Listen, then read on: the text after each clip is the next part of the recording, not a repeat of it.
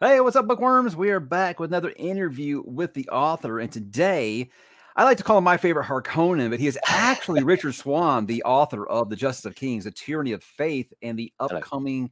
Is it called The Ruin of Empires? Am I getting that It is right? not. It is not called the Ruin of Empires. That is an artifact um, from an earlier discussion I'd had with Orbit, Okay, um, and they up. They were very quick to update the metadata on um, on uh, Amazon and, and Goodreads and things, but it, it has since changed, um, and I think it may be a secret, so I better not say.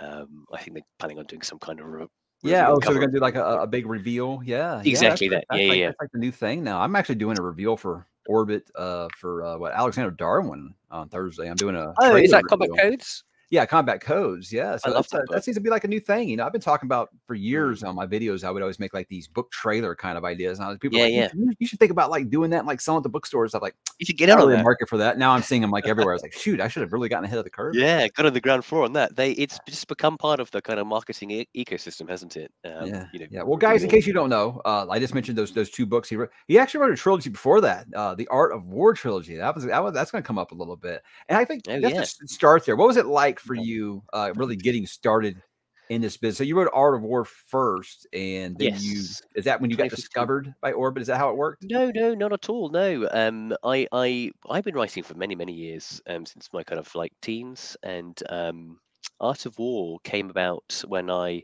I'd taken about a year or two off writing, and um, I did I discovered KDP, you know, the, the sort of self-publishing platform, and I think it had been around for maybe four or five years at that point. Um, and I was like, oh, amazing! You know, I can write a book, I can publish it, I can do the cover and all this stuff, and then it all seemed um, so tremendously exciting. So Right. I, I wrote this book and I and I self-published it, and I had um, you know, I sort of did the initial kind of marketing, and I built my Twitter accounts and all the rest of it, um, and I had a little bit of success with it. Um, you know, it sort of ticked over for two or three, four years, and then by about 2019, it, it just died off completely. I never really did anything to push it. Um, you know, I never did the, the sort of marketing grind that uh, you know it sort of requires. Um, or certainly has required for a long time now. Um, and so it just kind of died off. And I was like, you know, that was a fun experiment. And I did a I did a military science fiction novel called um, Earth Remembers, and I published that in 2018. It was the last book I self-published before I wrote Justice of Kings. And um, I sort of think, yeah, great. Art of War did quite well. It did like 10, 12,000, 15,000 copies, whatever. And I and I had nothing. I did nothing to push that. It just sort of happened. So I presumed that would continue to happen for me. And I and I published Earth Remembers, and um, and and just nothing, just absolute crickets. Um, I think even to this day, it's it's sold basically nothing. Um, and so I was like, that's you know that's enough self-publishing for me now. I want to kind of realign to um, my my like childhood goal of you know trad pub. So Being a um, published author. Yeah. Mhm. yeah, yeah, and so and so I wrote the Justice of Kings, and um, and from there it was fairly smooth sailing. And I think you know Orbit was never um, Orbit was never particularly.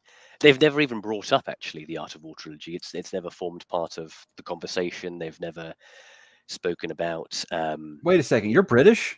I had no idea. I am indeed. Yeah, yeah. No, I'm not Australian. I live in Australia, um, but I'm not Australian, nor am I American. Um, So, would you um, ever tr- think about, uh, say, Orbit said, "Hey, this Art of War, do you want to like polish it up and we'll release it?" Would you ever consider that?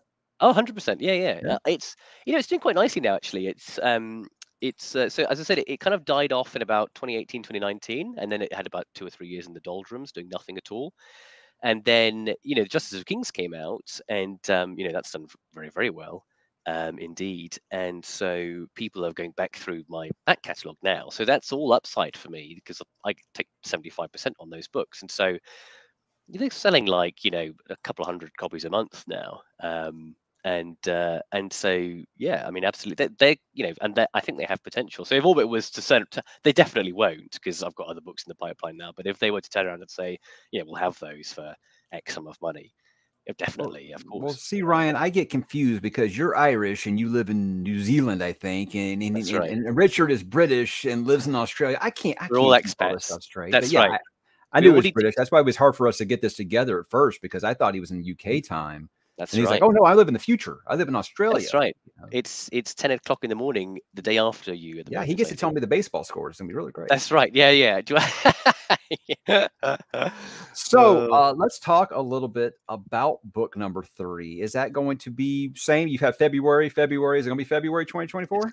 That's exactly right. Yeah, and um, it's uh, it's going to be the same kind of hardback. I presume Goldsboro will do another edition of that. I was a little bit annoyed actually they only did 750 copies of Tyranny of Faith because they sold out extremely quickly on pre-order. So they kind of lowballed it a little bit, um, and that means a lot of people. And It's so they and so they pretty good though, right? Book two. Oh, it's- it's- good. it's wonderful. But they did so they did 2,000 for Justice, and I think they didn't they did they did quite well. I think they just sold hardcover. maybe- that you're talking? Just yeah, hardcover? yeah, they, yeah, with the sprayed edges and stuff. And I think they did. They sold maybe half, just over half of those, you know, in week one or whatever. But I think the rest took quite a long time to shift, and so they, um, and so they probably thought, eh, well, maybe there's not the appetite, you know, for this series, and so they kind of did 750 for um, a. Uh, Let's see, Ryan's. Hello, hello, Ryan. How are you? Um, uh, and then they did 750 for the Tyranny of Faith, but of course, uh, in that in the intervening time, it, Justice of Kings had kind of picked up dramatically, and so now there's going to be 1,250 people who won't be able to have the full set of you know Right. Goldsboro covers, which is a little bit annoying, but um, you know, it's still nice to get it, obviously. Um, but uh, yeah, so it's going to come out in hardback in, in February, and it is not called The Ruin of Empires. I didn't like that title. I um, I thought I thought it was a bit trite, a little bit too um, banal. Um, and originally, I did agree to it. Um, Orbit presented it to me, or more or less, as a sort of fait accompli. And have I, and me. I I've read like a billion books between them. What was the dog's name in book two? Heinrich. It's got to have something to do with his name. Come on, it has to. That's, that's the. I would have put him on the cover. Yeah, yeah, I know. He needs to be on the I know. cover. Yeah. I want. I wrote Heinrich in. Heinrich is based on my old black Labrador who died sadly Hmm. a few years ago. Um, and uh, and I thought I, I need to find a way of honoring him. So Heinrich is Henry. Is Henry? Is just Mhm. German for Henry. Um, but you know the the the character in book three. I don't think a lot of people would get um, the, guess the character for, for book three. I've dropped a few hints, but it's a little left field because we we struggled with it because obviously number one is Sir Conrad, number two is Helena. Um, and you know there is a sort of a trio. I, mean, I can't really spoil. I don't want to spoil the books, but um, there isn't a net. There's no longer after book two. There's no longer a natural choice for book three because there aren't three of them. And we discussed originally having the both of them on there, um, but the, compositionally it looked really weird. Uh, Um, your cover arts are awesome. So I'm sure whoever will be, it'll look great. And that cover art. Uh, Martina terrific. is, yeah, yeah. Martina is signed up for book three, which is great. Um, Martina is, I think she's uh, Slovenian or Slovakian, um, and uh, she uh, does a lot of Magic the Gathering art. Oh. Um, yeah, so she's definitely been around the houses. She's, she's, you know, and, and, and in fact, she won a uh, an award, an, uh, an illustrator's award for the Tyranny of Faith cover art. Um, you know, it was it was that well received, um, and so I'm really pleased that she's going to be doing the third one because I absolutely adore. It's exactly what I wanted, which was fantastical realism, that style of Mhm. hyper real, but in an in an art in a painterly kind of uh, style. Um, it's precisely what I wanted. When I look back at the covers, I don't really like the books, but when I look back at the covers of say. Um, uh, is it Terry Goodkind? Is Wizard's First Rules that Terry Goodkind? Yes. Mhm. Haven't That read series- it. Yeah. Sword of Truth. I read the first one. Um, I wasn't a huge fan of that series, but um, I read the first one. But the, the art, the cover art is, is wonderful. Um, I don't think it was Mike Whelan, but whoever it was, it was brilliant. And I love that style, that fantastical realism where it's you hate that as a reader when the cover's awesome and the book is just, eh, and you're like, damn, I wanted, I wanted to be great because of that. cover." I know, and it's becoming, you know, the cover art now is, is becoming excellent. It's the, the it's such a what I would really hate is if they started cutting out human artists from the the process. Oh yeah, oh yeah, the AI Um, stuff is. I mean, whew. I, I, I mean, the- at first they're talking about going back and like editing books, and now they're just talking about, hey, why do we need author authors anymore? What is AI? Oh my I god, know. It, I mean, and it's and and the frightening thing is, of course, is that it's still very much in its infancy. Um, it's like they never and- watched Battlestar Galactica. You know, I, I mean, Yeah. it's bad. you love that program. You've been tweeting about it for quite a while now. Oh, I love it. It's, it's one of my favorite shows of all time. Yeah, yeah Oh, it's really? terrific. and it's aged I- beautifully. I think I looked for it in they had the in the shops here, and I could not find it anywhere. I couldn't find season one. I could find Mm. season two or three or four, but I couldn't find season one. And it's not streaming on anything that I own. Um, I'm trying to sort of limit the number of streaming services I own because I don't know. Did they have streaming in Australia? Do they have internet They in do. Australia? they get what they do is they pack it all onto a steamship and it sort of sails around the south south coast of Africa. And I they maybe just put like some uh some, some like antennas on a kangaroo and let them hop around That's for a right. while until they found a signal. Okay. I used the me. same stereotypes when I had Jay Kristoff on here. So yeah. it- it- it- Jay's a wonderful guy. Yes, I sp- I Yeah, chatted he's with him the other day actually. Yeah, yeah. So I Um, guess uh the, the I always get these questions to ask every author because I mean Hmm. it's just it's it's boilerplate, but you know what? It's a great conversation. What was your first SFF read? Like the first one that you ever Oh, read? Great question. My first one, I remember it very vividly. Um, it was um, Space Trap by Monica Hughes. Um, it's a I was I was in a li- in a place in England called Winchester, um, and I was in a library with my grandma, and I saw it on the shelf. It was um, a it was a it's a very vivid image for a child. It's it's a picture of a car, a sort of futuristic style car on a highway, driven by a robot, and it's kind of like this red sun sunlit you know sunset in the distance, and it's about these kids who get they go into the middle of a maze on like an alien planet, and the next thing they know they're teleported away, and they appear in an alien zoo.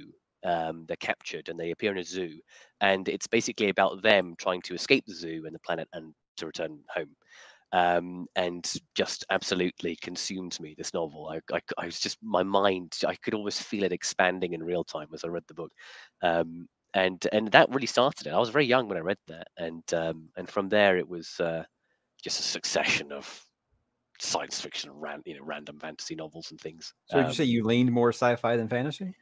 100%. Yeah, yeah. I read loads of sci-fi, predominantly sci-fi growing up. Okay, um, okay. so a huge- favorite favorite sci-fi, not Star Wars. Uh, That's because that's someone that I uh, Brent wanted me to ask you about. What's your favorite sci-fi that's By not books. Star Wars related? What's that? Uh, so favorite sci-fi books or favorite Yeah, sci-fi books. like IP? Oh no, Uh, the Star Wars talk will dominate later, I'm sure. But Okay, uh, sure, yeah, for- yeah, uh, yeah. Favorite. I've book, got some. uh, I've got some controversial Star Wars opinions, so I'm looking forward to talking about Oh, that. you got plenty of Lord of the Rings ones too. We're going to talk about them. I've kept receipts. uh, no, really, yeah. If you've just into the deep dive into my social media, Yeah. um, I uh, so I loved um the Iain Banks culture series growing up. So Mhm. um, you know, my teens. Yeah, they were they were hu- hugely formative for me. Um, so um, you know, Player of Games, Look to Windward, um, Use of Weapons is probably one of my favorite books um, of all time. And I was also a really big um, Peter Hamilton uh, fan. So I read, um, I was about fourteen. I read the Night's Dawn trilogy. I don't know if you've Have of it. Haven't got You have it it. yet. They Those are- have it in massive books, man. uh, fifteen hundred pages a piece. Yeah, Yeah, yeah, and um, they have they have in Goldsboro Books in Cecil Court in London, they have the three in hardback signed first edition, and also to go with it the hardback of the Confederation Handbook and the um, short story collection of Second Chance at Eden, um, all for a thousand pounds. And before I left the UK to come to Australia, I was just so close to just buying them, but I thought I can't. There's nowhere I can store them if I take them with me, so it's a little treat for myself when I go home.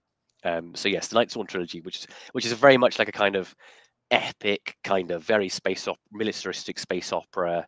Um, you know, cast of thousands. Um, it's like zom- It's basically zombies. Like the, in space, um, you know, the dead come back and they start possessing the bodies of the living, and then they can, you know, they can shoot fire out of their fingers and Oh, that that sort of thing. cool. But in a very kind of high tech, you know, ultra high tech, um, sort of post scarcity uh, sci-fi environment. So it's really uh, cool. Peter F. Hamilton and, and um, uh, Alastair Reynolds are probably the sci-fi I get recommended the most from my my viewing audience. Have I read Reynolds? Now, obviously, I know him. What kind of things does he write? Because Uh, I, I always get, I always get him confused with Baxter. Um, and there's a couple of others in that space, like who were huge in like the '90s, and they were kind of just churning them out. I lean more on the uh, the F than the SF, so I'm not really the the one to ask. I mean, Mm. obviously, I love like Sun Eater. I love Dune. Uh, I, I really like the Expanse that I've read so far, but I'm still June, very. June, June, What am I saying? Dune. Dune wrong? Dune. Oh, oh, okay. So I'm Although I suppose Frank Herbert was American, wasn't he? So maybe it is Dune. Dune. we we in, in the UK would say June. Um, but it sounds uh, like I you're saying tune. So I know. June. Uh, Ju- Dune. Dune. Um, I love Dune. I have the uh, Folio Society edition of the first Dune Yeah. book, uh, which set me back the thick end of 100 That's quid. that, that's one of my like nine copies of Dune. Yes, yeah. I, had, Yeah, yeah, have yeah. a problem. Yeah. I have three actually. Um, I had a, a the, the the folio was just to keep on the shelf, and, Yeah, the things- folio. I looked at the art and then I put it back and Yeah, said, yeah, "I'm not going to yeah. read out of this." No, no, no. And then I have a paperback that I can just throw around, you know, and read. Um, it's a wonderful book. I, I, I love Dune. I, I, my interest in the series uh, dropped off. It's June. Yeah, I, I always tell Sand people they ask my opinion like they, about the sequels, and I say just stop at God Emperor. You know that that eh, you're really not going to get much that you like after that. Probably, I mean, because mean, Frank wasn't able to finish his stuff, and I won't even talk about what his kid did. But I, I think that Yeah. um, three, if you're not enjoying yourself, I don't think that four is going to be something you're going to Definitely enjoy. It's not going to scratch that itch. Yeah. I, I, I would stop at uh, Messiah personally, but uh, Oh, that's wow, just okay. Wow, Yeah, Yeah, dang, yeah, yeah. blasphemy! All right. yeah. Sorry, I'm on the See, guys, I told you he was a Harkonnen. See, he doesn't like where the story goes. They made some very compelling points. Oh, oh man! So, what'd you think of the Dune Two trailer? I'm excited for it. Um, I I loved the first movie greatly. I was surprised they ended it where they did. Yeah, me and I Christopher thought- Rocky have talked about that. That it was a weird place to end it. I really thought they were going to do more of the build up, so I thought the first half was a little bit rushed.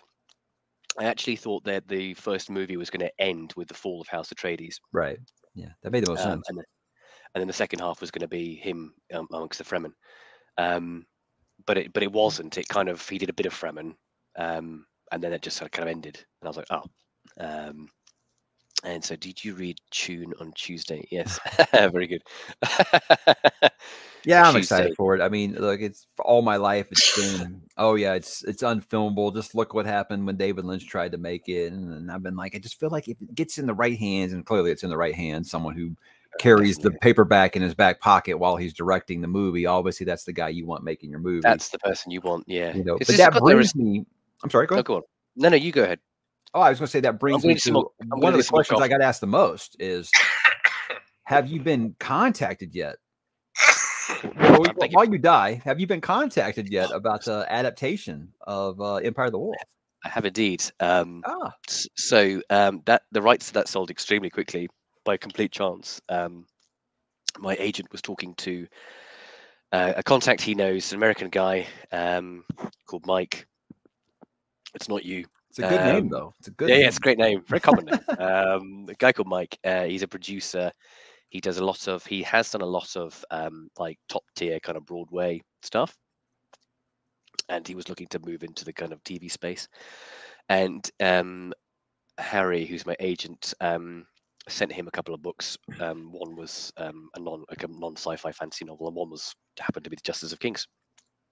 And, and he just happened to love it, um, and so he bought the rights to that, um, and that was you know extremely quickly. Um, so they re-upped on that in September last year. You know, I don't feel like it would really be super super expensive to make. I mean, Well, according to excuse me, I'm sorry, no, it's fine. I mean, I've been struggling with it too. I got green tea right now. So. I have a. I'm just coming out of a cold, and uh, I've got a tickle in the back of my throat, and it's driving me completely insane. Um, I am I get it. actually fine, but uh, it's just this tickle. Um, it, you know what? Apparently, it is. Um, apparently, it is expensive to make. Um, Really? Okay. I take it According to back. I was just like, you don't uh, have, you know, big crazy dragons and you know, crazy No. CGI stuff. You know, I just, I don't know. I think in terms of uh, fantasy filmability, sure, like because you could, all, but you know, the expense of um, the expense of a, uh, a like, for example, if you're filming a historical fiction, you know, piece like you know, the Tudors or whatever, actually a huge amount of the expense comes from things like the costuming. Sure. Um, you know, it's there's a lot of whereas um, I was talking to a guy I know about it recently because he writes a lot of screenplays and um, he got the inside track on what is and what isn't expensive, and it's quite it, it was actually quite surprising what was and what wasn't expensive, and it's not necessarily what you would think. Um, but I agree, the Justice of Kings doesn't have a lot of big effects. I guess the necromancy scene would be the only real kind of um, you know thing they require. But yeah, you got kind of eldritchy in the in the new book, so yeah. I yeah, mean, yeah, it gets a bit like more. that. And you know, the third one is even more. Actually, I really, leaned, really leaned into it, lent into it. I'm, I'm I'm a Lovecraft fan. I'm always down for more big, greasy, tentacly monsters in my stories. So sure. I, you know, I love that, and I think, um, I think in the first book I wanted it to just be very unknowable um, and kind of spooky. Um, and then in the second two books, I kind of thought, oh, you know what? Um, I love this shit. I'm just going to do loads more. Um, and I bought a book. Um, it's an art book that I wanted to buy for ages, and it was out of print years and years ago by a guy called Wayne Barlowe. He's an artist, and he did um, a series of paintings called Barlowe's Inferno, and it was basically his visions of hell, um, based on things like Dante and you know, other kind of medieval chroniclers. Um, and there are these fantastically disturbing paintings of the different landscapes and castles and, excuse me, sorry, fortresses of hell. I'm gonna, okay. uh, I'm gonna do it to help him out here, guys. I'm actually, you know, I'm so sorry. I'm gonna grab some water. I'm gonna no, be back in one minute. You hold the fort, I, I, and that might help me. Fine. Yes, Albert. He did. You just keep talking. Sure, sure. I, I do this a lot. Uh, he did say book three is coming out uh, February, just like the first two have. Uh, Richard apparently is very on the ball, and uh, he meets deadlines. So I think he's that Joe Abercrombie style, where he wrote all three books and then he kind of slowly edits them, and you know does rewrites and stuff during the uh, the time off. But yeah, yeah. Uh, Ryan, I think it might be it might be whiskey thirty for Ryan right now. Shut up, Ryan. Such a lovely guy, Ryan. Oh yeah, yeah. Yeah, yeah, great. I can't I can't wait to, to, to have him on here, guys. When you hear Brian's accent, you guys are gonna lose it. It's crazy. It's really, really crazy. Real Irishman. Traditionally, of course, historically, we're enemies. Um, oh, you're doing book plates. These days with friends. I oh, got, got some in front of me actually. oh. Let's have a look. There you go. Yes, they're really cool. Um, I got them done by a, a lady called Hannah Elizabeth um, on Twitter, and uh, they go for five pounds a pop. I just get a little silver pen and I sign them. Um, and they're really cool. I'm really pleased with how they turned out. Actually, um, just the heraldic device of the empire on there. So, so yeah, you have, um, you have, do you have it in your head when you write? Do you imagine any actors? Because uh, you know, obviously as a reader, some of us do this. We'll just fan cast because mm. you know you ain't got to worry about budgets or any of that stuff. You can you yeah. can be the writer, director, producer when you're making the movie in mm. your head. You know. Yes, of course. So you have any any any actors like they give you a blank check, say go out there and any actor you want to play I did, for Conrad. I did, yeah. I actually did a fan cast a little while ago. Um, I always imagined Mark Strong as Sir Conrad von Volt. He's probably a little bit old now because um, von Volt's supposed to be about 45, and I think Mark Strong's probably closer to 55. Um, but I always imagine Mark Strong, but kind of with long, of long hair. Who I, imagine it's so weird because it does. I think it's just because I like that movie uh, Ladyhawke when I was younger. I was thinking of Rutger Hauer, but I know he's too old now. But I was thinking about Rutger Hauer, like how he looked back then. Yes, yeah, know? yeah, I can see, and he's got the he's got the right accent as well. And I think that's just because I liked that movie so much when I was a kid. Yes, I don't know. Yeah, yeah, okay. Um, you know what? Like, I mean, you can see almost any kind of modern lead, you know, actor, male actor doing it. Really, um, I guess it had to be British or do a very convincing English accent. Um, I actually like the idea of a foreign language adaptation. I think like a German. Like, did you ever, did you ever watch Barbarians on Netflix? I did not. It's it's excellent. It's about um, it's it's basically about Ro- a, Roman legion in um, Battle of the Teutoburg Forest um, in in you know uh, uh, Rome like uh, Germania, and um, it's very, very but it's all in German or Latin or I guess Italian. But it's brilliant. Um, I highly recommend it. And I was thinking like you know a sort of foreign language adaptation of Justice of Kings would also be pretty cool. Um, in terms of Helena, I I always thought of um, there's this German actress called Miriam Stein who um, I watched her in Generation War, which is a uh, World War II, uh, it's a German World War II drama about five teenagers, or like you know young twenty somethings, um, and they all get sent to different um, you know parts of the front. So one of them gets sent to the Eastern Front, or a couple of them get sent to the Eastern Front. One as a nurse, one as a soldier. One of them gets you know shipped off to um, the gas chambers. Um, and it's, so it's quite it's quite dark. It's not fun viewing, but it's a very compelling story. I find uh, that most things are historically accurate. They're usually dark, you know, especially if they're you know the dark ages. Yeah, yeah, you know? yeah, for sure, uh, for sure. Uh, it's it's grappling with some pretty uh, some big themes, but um, Miriam Stein is in that, and she plays a girl called Charlotte. And I always imagine I thought she'd be a perfect um, Helena, but again, much probably much too old now. She must be at least in her thirties and probably in her forties. Um, so uh, yeah, that's right. And then Bressinger, you know what? I mean, Pedro Pascal, the man of the hour. I think he'd be a great Bressinger, uh, or you know, someone like him or Diego Luna. Um, you know, someone like that. Uh, well, just make sure in book three you write in that he actually watches a baby or someone really, really young, and then Pedro Pascal would be perfect because apparently that's, that's his role. They're like, hey, we need someone who's like kind of a caretaker for someone much younger than him. Mm, I'm guy. sensing a strong theme um, in his recent output, but I mean, I do love. Sorry, I'm just going to quickly tie a knot in the um, the TV talk because I don't think I finished. Um, but basically, the where it's currently at is they have writers attached, they have a pitch prepared, and it was going to go to pitch to the net, you know, the networks, the mm. networks, whatever that means. Um, in May, and uh, and of course the writers' strike has um, has just uh, put it off for now. So I think they're waiting until obviously that's all resolved before they they pitch it. So you know, I think with all with these sorts of things, I just assume it won't happen. Sure. no, when I talked to Joe Abercrombie, he told me that basically it's like everyone just was buying the rights up just so someone else wouldn't make it. you yeah, know, just, just holding it, no, no intention to make them. I like, you know, it was like it wasn't nothing, you know, as well. I mean, it wasn't it wasn't retirement money, but it wasn't nothing for the uh, the option. Um, but uh, I just assumed I just take it that as a oh yeah, it's a nice bit of money in my pocket. But so, young writers, you guys listen. There's nothing to this. Richard's second yeah. book, he's got it made. He's done. That's it. Yeah, yeah. Oh, it's just, just all, the, all, the, big money is in publishing. Everybody knows that. So, uh, believe it or not, people are are anxious to hear some of your your Star Wars opinions. Uh, I was going to get some of the book stuff first. But you just want to kind of set it up here. Who has the all-time best character arc of Star Wars, and why is it Ahsoka Tano? Character, who? Sorry, who is the best character arc? Is because that's an interesting. That's not the same question. Who's is who is the best character? So is it who is the best character arc? Because I mean, that's it's that hard to not say Anakin Skywalker. It's Anakin Skywalker. Of yeah. course, Anakin Skywalker. Yeah, for sure. Like he has the best character arc, no question. It's almost Shakespearean. Um, and you know, in the hands of a better writer, that that could easily have eclipsed the OT as the best Star Wars for sure. Um, I think this the script. Let Hi, Richard. What's your opinion on the Star Wars sequels?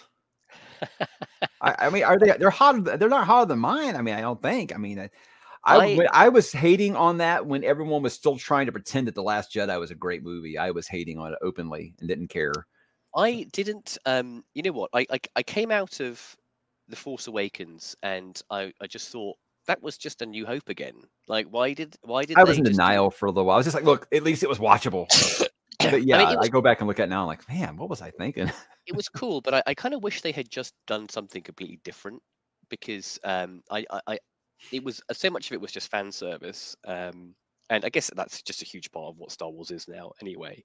But it was just a New Hope again, and I was just like, I don't. Why did they do the exact same? Like uh, in my head, if I was to write Star Wars, basically like at the end of the original trilogy, you've got you know Luke. He sets up the Jedi Academy again, um, and uh, they've they've still got like what? Okay, they blew up the Death Star, but there's still like presumably thousands and thousands of stormtroopers and and stuff still out there. You know, they've all got to be either like killed or taken prisoner or you know re-educated or whatever. So in my head, it was like re-establishing the Republic and then like killing off or cutting out all of these other kind of holdouts from the Empire. I mean, that's a rich seam of story right there, and rebuilding the Jedi Order.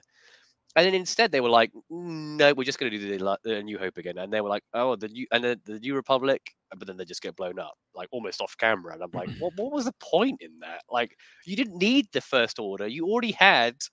Presumably like at least half of the empire left. Like, why couldn't mm. they just fight them? Yeah, and that's why when Kathleen Kennedy says, "Oh, we don't have like 700 page novels to go off of," I'm like, "What are these like 75 books I've got on my shelf yeah, over here? Are you kidding me?" Yeah, so. I didn't. I that makes me think maybe you hired the wrong person. Yeah, I didn't. You know what? I I didn't. I didn't hate the Force Awakens as a movie. I hated it because it was just like a reboot. Right. Um, so I didn't I didn't like it for that reason. And then the other two just annoyed me just because the writing was just crap. Um, mm. You know, it was all over the shop, and there was obviously no consistency or kind of oversight through. Yeah, the, they didn't having, all sit down and be like sitting down and writing a beginning, middle, and end for a trilogy was a horrible plan. It, of course, like like what could possibly have gone right with that approach? Like it was so silly and asked backwards. I wasn't. I didn't actually mind though. This is controversial. I didn't mind the I thought Luke Skywalker trying to murder Ben Solo was utterly ridiculous. I thought that was very silly. But I didn't mm-hmm. mind the idea of Luke becoming a hermit. Um, in and of itself, I didn't mind that concept, um, but I didn't think it was executed brilliantly. Um, yeah, now they're making a sequel to the sequels where Rey's gonna rebuild the Jedi Order. Excited? I almost just don't care about Star Wars anymore. I um I haven't watched almost all of the Mandalorian. I didn't watch any of Boba Fett. I hate. I was really looking forward to Obi Wan Kenobi. I was really, really mm. looking forward to it, and it was just terrible. Like just genuinely bad. The whole thing. Oh thing. no, was just, no, I was one of those for years. oh look, I love George for what he created, but he's lost the touch. He needs to give this to new life, some new energy. And I thought, okay, it's gonna be great. With Force Awakens, I think I was just like, look, they had to make that one movie to kind of correct the ship, and now we're gonna Mm. get to you know to the, the good stuff. And I was, I mean, you go back and watch the trailer for Last Jedi. That wasn't the movie that we got at all, but it looked awesome. It was like, this looks great. It's like everything I wanted, and then Yeah, yeah. yeah, yeah. I didn't like. There was a couple of things that really stuck in my mind. In the last, is it the Last Jedi?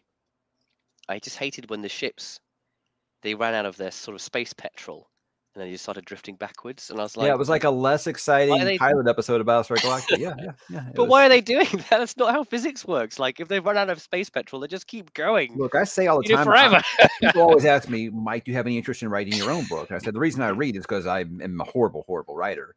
Hmm. But if I can call out bad writing, it must be pretty, pretty, pretty bad. Because I yeah, I mean, Ah, it was it was silly things like that, and I think um, I, I didn't like the way I didn't. Rey got a lot of hate because she was a woman. There was definitely an element of that. People just didn't like the fact that she was a woman, which is ridiculous. But what I didn't like about Rey was just as a character, we were just supposed to accept that she was immediately amazing. There was Mhm. no kind of no growth struggle. to her Yeah, you know, she didn't have to really ever contend with anything.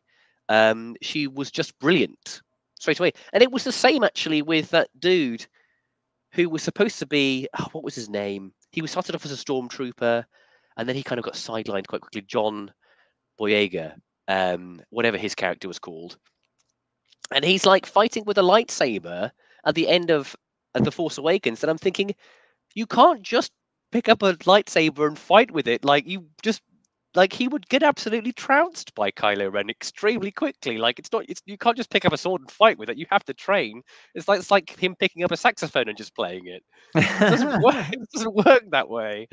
Um, so it, it was. I just find little.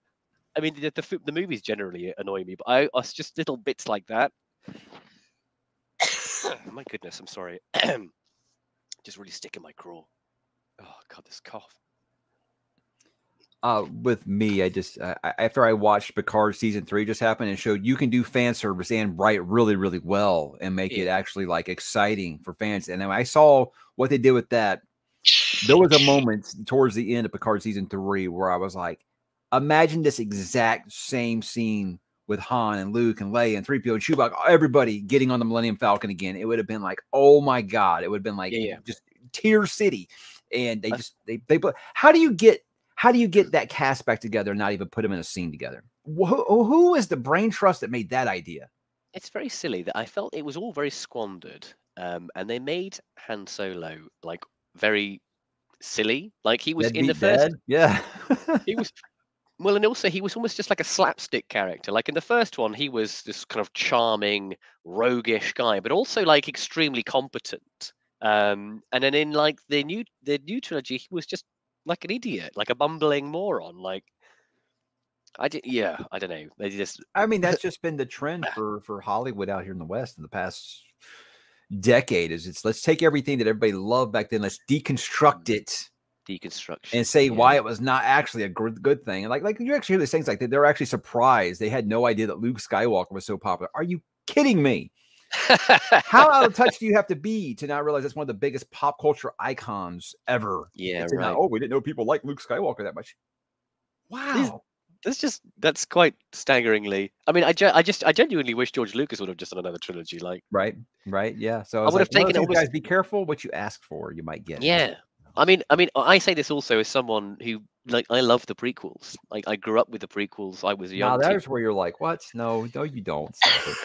I will yeah, say well- the sequels being so bad, it did validate the prequels as actual decent Star Wars movies. I I, like Revenge of the. Sith a lot. Like, look, my problem with those movies really isn't the story as much as just the direction's poor. Like, love George. He should have hired an actual director. And um, some of the acting is some of the worst acting I've ever seen in a major a major uh, motion picture like ever. I, you know what, I, I, I, can, I think I can appreciate their flaws and and still love them. Oh, it's Um, they make great they- memes.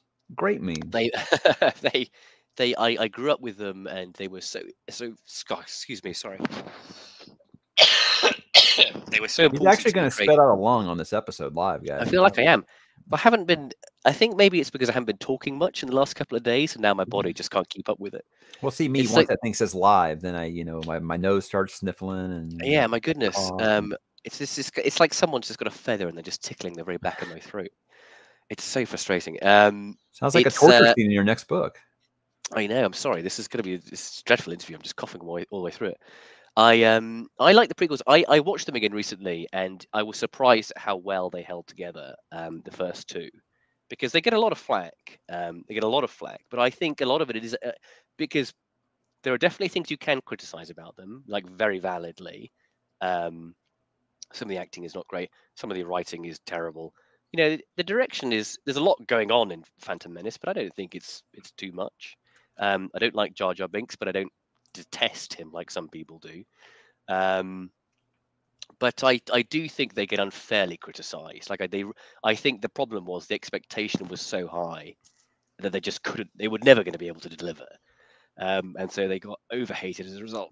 I'm with Ryan here. I feel like watching the Clone Wars animated series really fixed a lot of my issues with the prequels. I was like, oh, okay, so now I can actually because in the movies I was like, I never see that Anakin and Obi Wan were ever friends. They're just like at each other's throats the whole trilogy. Whereas on the Yeah, on the animated series, they actually do build that up quite what I'm quite, on quite well. season four of that now. I'm, I'm I'm very late to the party on the Clone Wars. Um, I'm, I've missed the boat when I was growing up. Um, but I loved the Genndy. do not do that. I love the Genndy Tartovsky, Tartakovsky, um, 2003 Clone Wars. You know the animated. Yeah, yeah, one. yeah, yeah. mhm. I loved that. Yeah, I like where I'm- basically I'm a hu- there's like karate chop in the entire Yeah, uh, yeah. empire. It's great. I because I was I was a huge fan of Samurai Jack, um, and it's the same creative team behind Clone the original Clone Wars um, animated series. Goodness me, I'm going to cough again. I can't get it up. Whatever it is, it, it, it's obviously nothing. It's obviously just like a nerve or something, just tickling away. Um, but there it is. We're just going to Green tea, my man. Green tea. Come on, aren't you I English? I never liked. I am, uh, and we have Earl Grey, hot. I know, just brec- just English breakfast for me. I, I, I mean, I do like Earl Grey, but um, English breakfast is fine. Well, I do got some. I do got some uh, some viewer questions.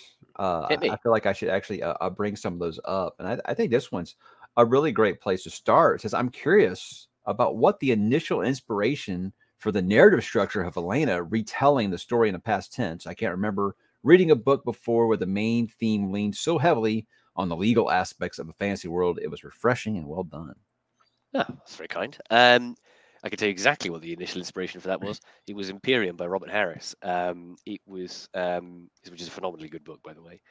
Um, it's a, it's the story of Cicero, um, told over three volumes, um, and it's told it's fiction, um, but it's told in the voice of Tiro, who is Cicero's slave. Um, but in Roman society, he was more of a kind of, uh, I guess, like PA. Excuse me. Man, it's like when someone else yawns, it makes you want to yawn. Now I want to cough. Yeah, I know. I'm sorry. Um, maybe it's the air. It's very dry. I know. Um, and so he was more like a kind of PA, like a secretary, like a confidant, and he tells the story of Cicero's life. Um, and the first book is Cicero uh, doing like a trial of another Roman.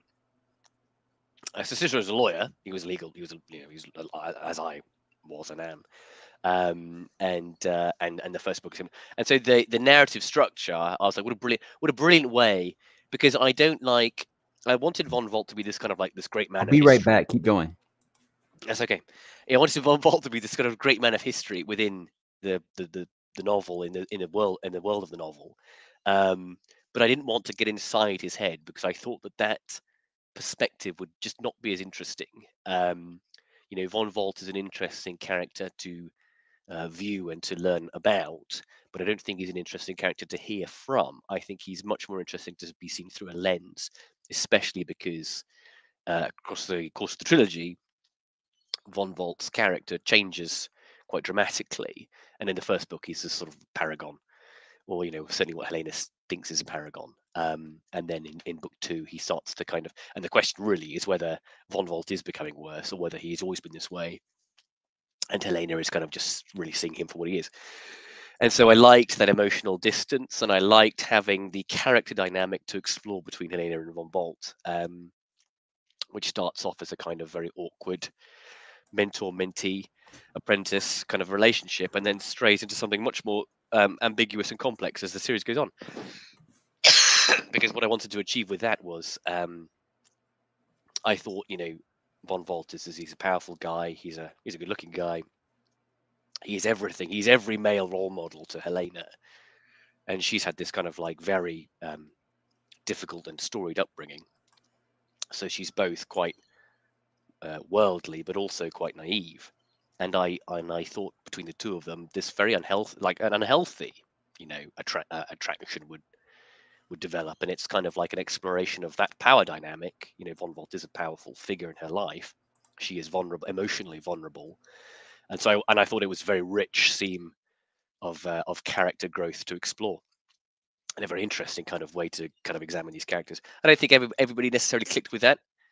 I think some people thought that it was kind of like a ro- like a, a quote unquote romance, um, which isn't I, it isn't really right. It isn't a romance because it's not supposed to be a romance. It's more of like an extrapolation and an exploration of their character dynamic, and it's not necessarily an endorsement of their well, it isn't an endorsement of their relationship. It's more like if you had these two people in this situation, how would this relationship, you know, evolve?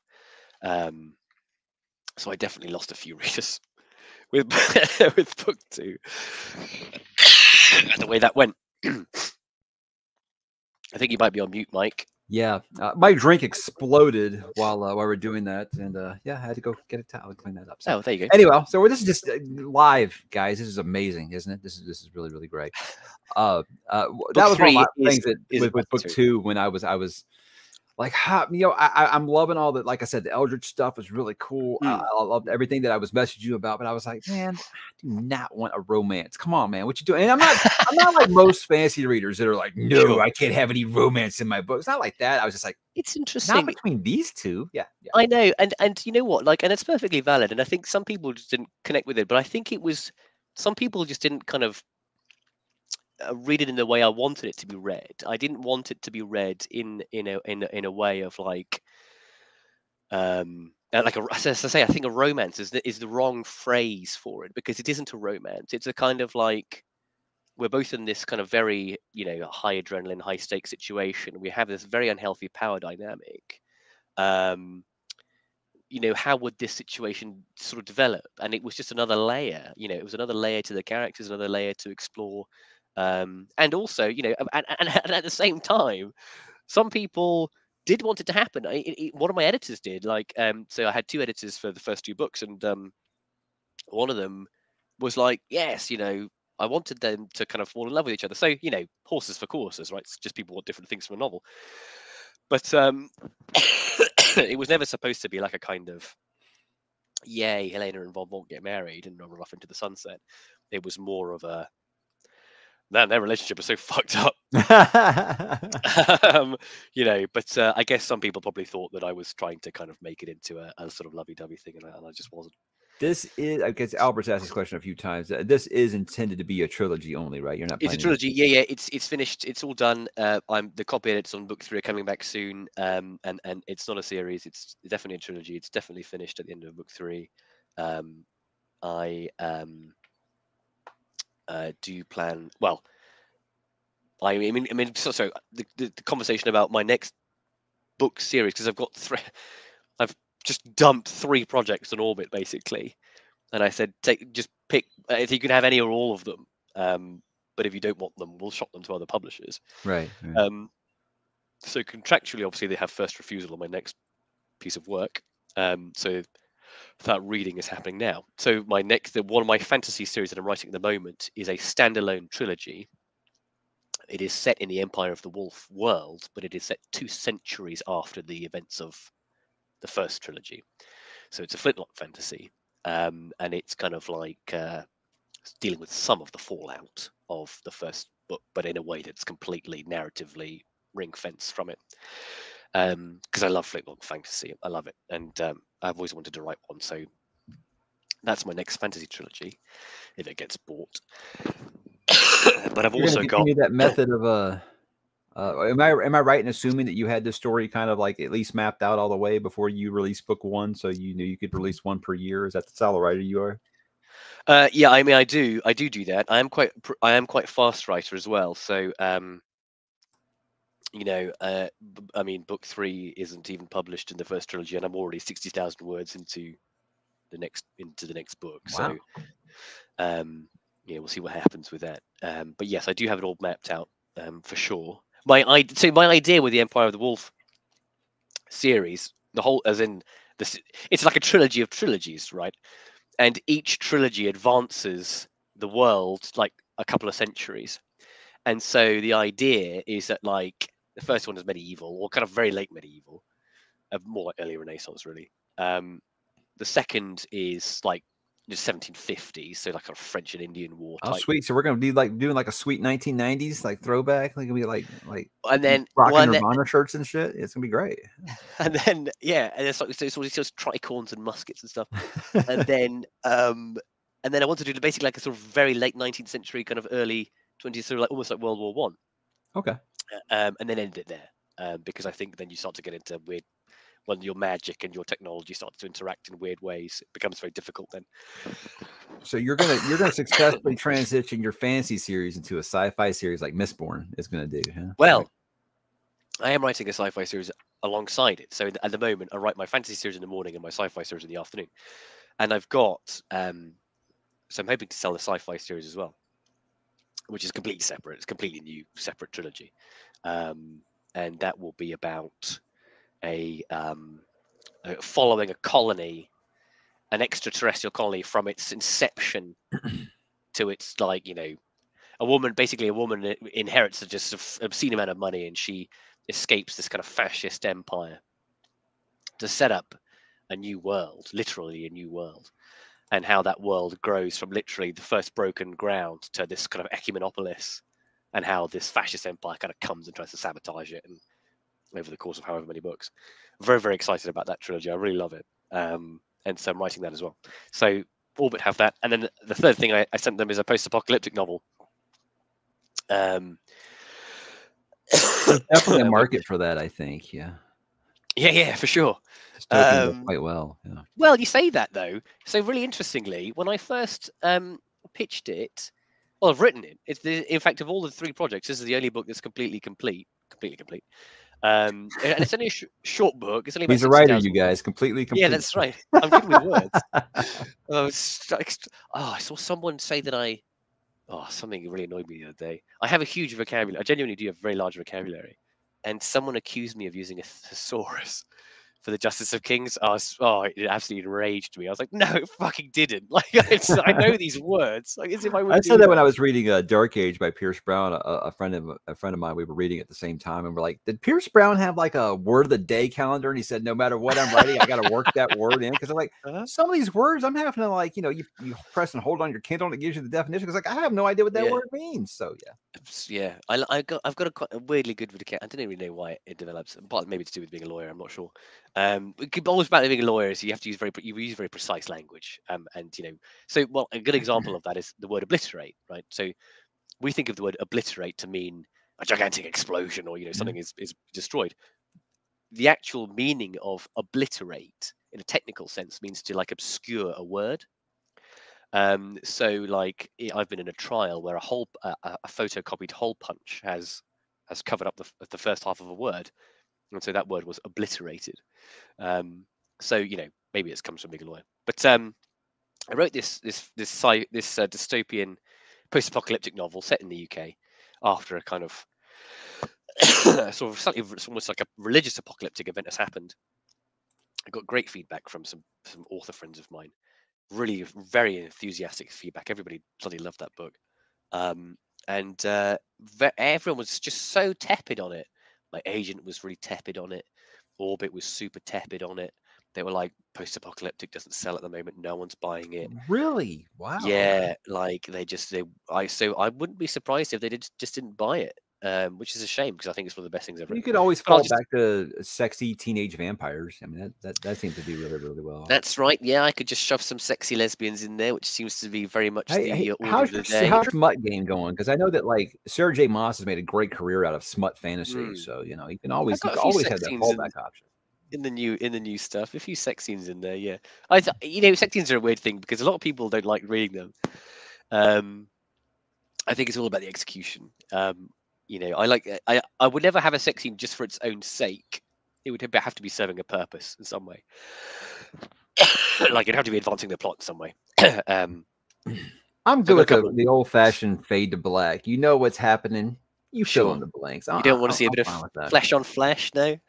I Jay Kristoff because I'm like that dude. That dude has, he's read some smut mob novels for sure. Yeah, and that's what yeah. he told me that he read like a stack of his wife's erotica novels, and that's how really? he got so good at writing those scenes. Because I was like, he's got the kind of scenes like when I'm reading it like at work. I was like, like looking around, like does anybody know what I'm reading right now? This is ridiculous. Yeah, yeah. No, I've um, I've got a few sex, but I like I like writing really weird and awkward sex scenes. I I find that very satisfying, uh, almost quite revolting ones. Um, so uh, yeah, yeah, Joe Abercrombie does that very, very well. Like mm, make you as uncomfortable as it is him probably writing it. It's a great question because I don't, I, I, don't even know what Flintlock series would you recommend. I don't think I've ever read Flintlock Fantasy. So Flintlock Fantasy. Um, uh, I mean, Powder Mage is the big one that everybody recommends, right. isn't it? Um, it's on my shelf. Mm-hmm. Yeah, um, I read the first one of those many, many years ago. Um, now, gosh, it must be at least ten years old.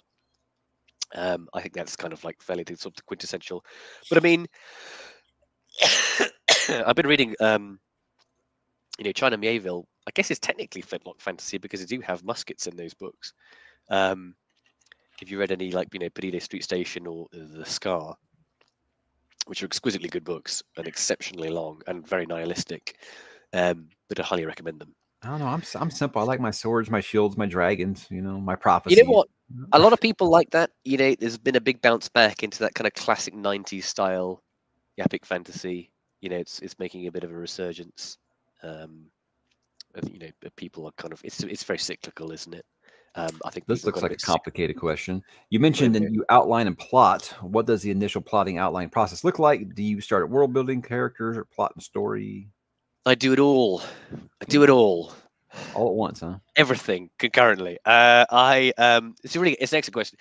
I think everybody's process differs slightly, but basically, um, the very first instance is I have a I have like a you know Google Keep, uh, that kind of like it's like a little notepad on your phone, and I just add words. I add words and ideas to that over the course of many months, and then when I'm ready to write a new book, when I'm ready to write a new book, I go through Google Keep, and I like right here's the book I have a rough idea of what the kind of this this, the shape the story needs to take. I've been writing for a very long time, so I'm kind of um, quite well practiced now in fleshing out, like following, know, knowing what kind of story beats need to happen and when, and when something needs to kind of reach a climax and when it doesn't.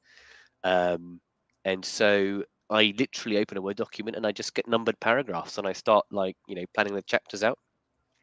And then separately to that, I I build the world. I I, I draw the map. I build the world.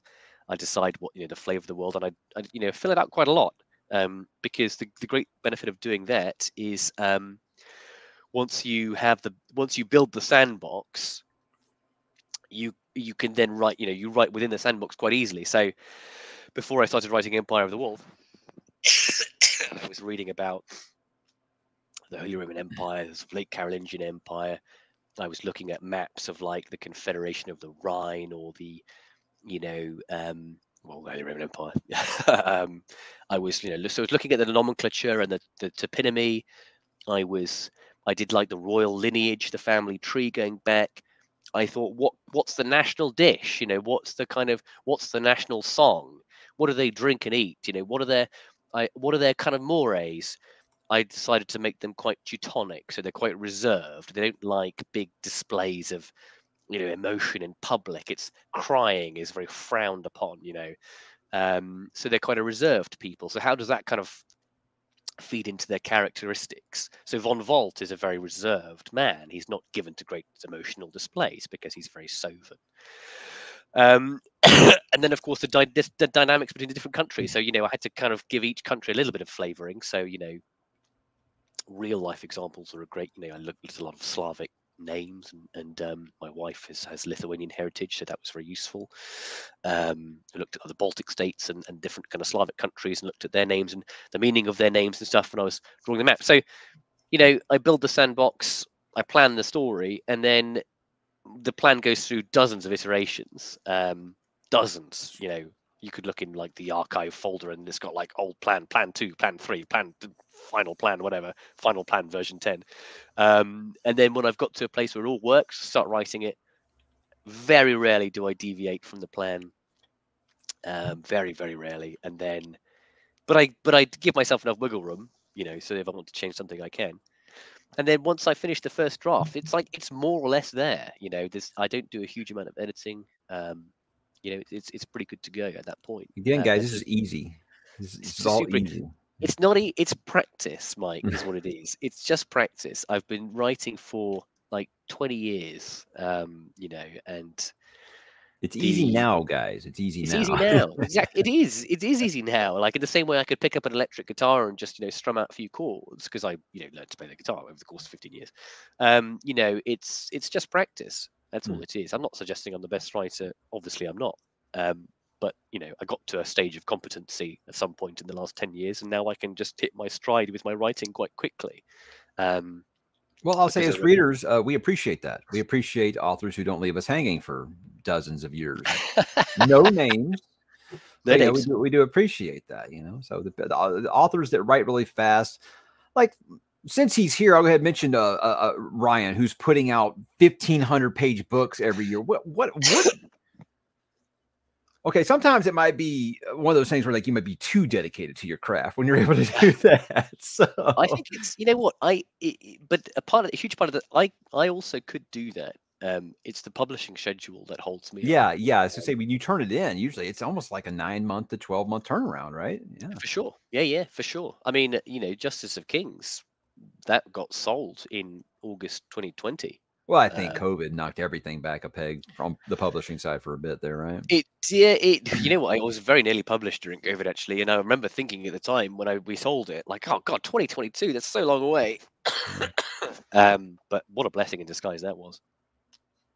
Uh, this is a good question here. I don't know if he means archetype or if he means Empire of the Wolf. He says, "What's your favorite and or most challenging character to write?" Unless it's spoilery. Most character, uh, interesting. Um, I think I, you know what, Claver is is tough to write. Um, I find villains uh, not difficult to write, but a challenge in making them hello, Mike, not Mike. Alan, hello, Alan. You're Mike. Um, I, you know, making Claver um, annoying enough that people hate him, you know, and making him like just a really annoying little kind of Weasley asshole.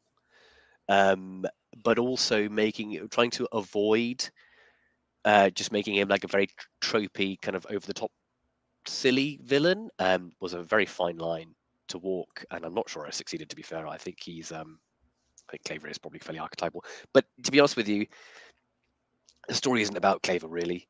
Um, you know, and, and, it never was. Um, the story is about Helena and Vonvalt um, and their relationship, and um, everything else, you know, feeds into that, of course. But it's um, it's not really about Vonvalt versus Claver so much as Von Volt and Helena's relationship are dynamic throughout the the trilogy. and that was always the focus for me, and, and, and for me the most interesting thing. I don't like writing huge battles. I don't I don't find it interesting to read about them. I don't find it interesting to write them. Um, I don't find huge armies clashing on the field hugely engaging um, from either side of the fence. I have written them because I think there's an amount of expectation in epic fantasy that that, that takes place. But um, it's certainly not my preference. I much you can do the Tolkien. That's happening over here. We're yeah, yeah exactly. We're going to focus on this leaf. yeah. did you did you guys learn that bat that battle? Oh my god! oh, I missed it. Um, so yeah, you know, I like the slower kind of the talky, the thinky, the maneuvering, the sort of the more Machiavellian. Um, you know, so that's my that's my preference. I've I'm with you. Benjamin. I, I I don't have to cough at all, and now I want to cough. So it's like when someone else is someone else is yawning, and you, and, and you it. It's contagious. It's I am getting a little bit better. It's, it's weird how this funny. works. Uh, someone kept asking, uh, "Do you?" I, I, I'm sorry, I missed the question. I saw I saw it. Uh, Here it is. Uh, how do you handle missing your favorite characters when you're finished writing a series? I guess that kind of ties in with like, is it hard to kill a character off, or is it something? it enjoy? No, no, I don't enjoy killing characters at all. Um, I don't like doing it. And when I did do it with one of the characters at the end of Tyranny, I was very upset.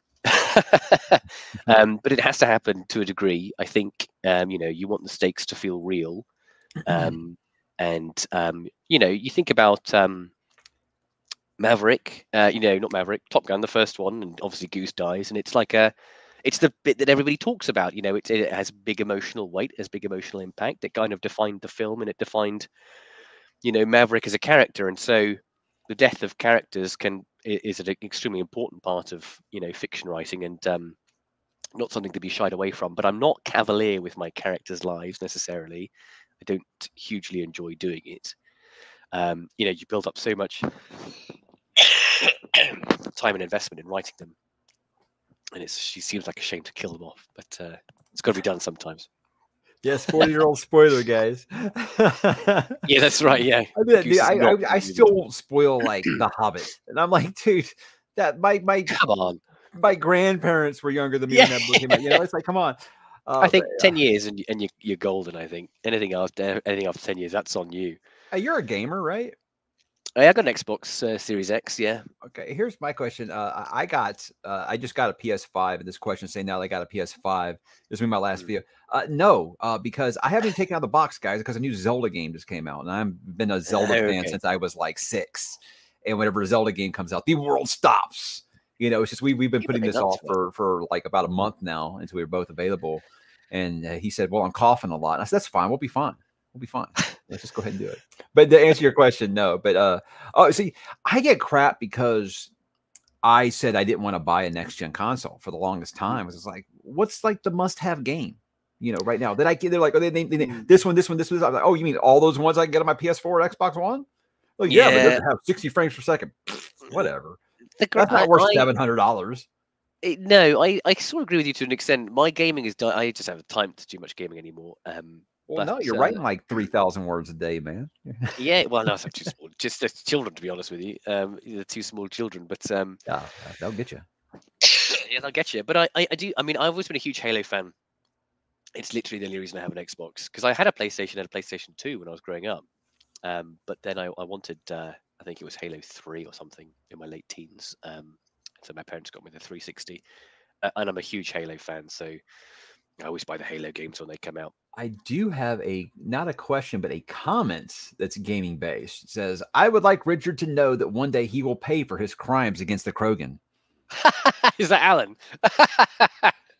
uh, I don't remember who I- said it, but I don't think it was Alan, but no. it would have been Alan. Uh, Uh, look, Sean. I have done both ways on Mass Effect. I think I, I played Mass Effect one and two. Yes. I think both as as, as regular Shep and female Shep. I played it Paragon as, as a bad guy. I did every single way imaginable. And then like Yeah, yeah. three came out, and you know what happened with that. But uh, so yeah, I've done I've done both ways with the Krogan. So yeah, I've cured the I- genophage. uh, you know, I've done all those. No, things. I, I let the Jennifer. I lo- I mean the first one's still my favorite, but I, I Yeah. definitely I played the first. I played all three though, and I um I I think I've said this before, but I got I got a weird kind of because I killed Wrex gleefully. Yeah, that's that's in, that's uh, that's pretty that's pretty monstrous, man. Oh, everybody says that. I hate Wrex. They annoys me. like I said, guys. Like I said. Controversial. That's right. Secretly an evil person. I hated Wrex. Um, I killed him at the earliest opportunity. I did not bury him. I th- threw his body into the sewer. Um, and I think because I did that, and then because I did some a few other kind of quite niche things, I got the I got the special. You know how uh, the big decisions in in the third game. If you look at the decision tree, like Bioware published, it's really interesting actually. Every um, big choice has like two major ways it can go, but also like quite an esoteric third way, depending on if like a whole bunch of random stuff has fallen into place. And because I killed Wrex and because some other random stuff had happened, I got like a really weird third option with the genophage where I decided not to cure it. Um, so I let all of the Krogans die forever. Um, but then something else happened. I guess still got to keep Mordin Solus on side, or maybe Mordin Solus died. Maybe he died as well. I was quite happy to see him go as well. Actually, he was a bit annoying. I just took Garrus and Legion on every single mission.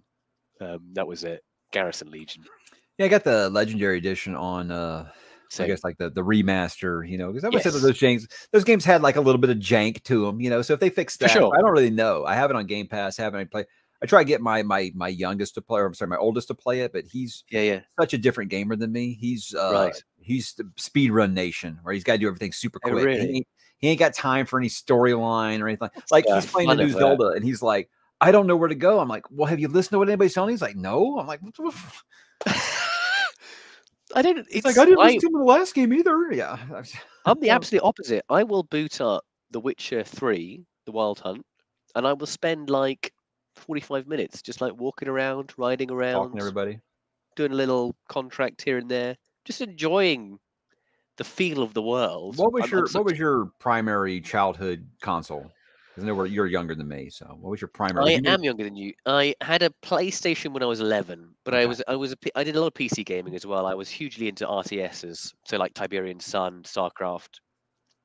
Oh, um, you must um, construct more pylons. Exactly that.